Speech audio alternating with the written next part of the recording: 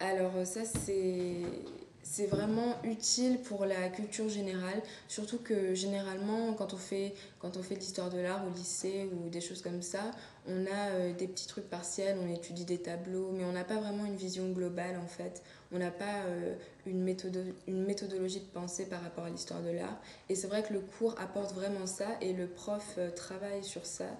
Et voilà, de, vraiment nous montrer, comment dire, une méthode globale, euh, donc euh, une vision globale de l'histoire de l'art, avec euh, on étudie quelques auteurs sur chaque, enfin quelques auteurs, quelques artistes sur chaque mouvement et ça nous permet de ne pas nous perdre en fait. Et quand on nous parle de quelque chose, on sait le situer. Quand on voit un tableau, une certaine façon de peindre, on sait à peu près à quelle date c'est, etc.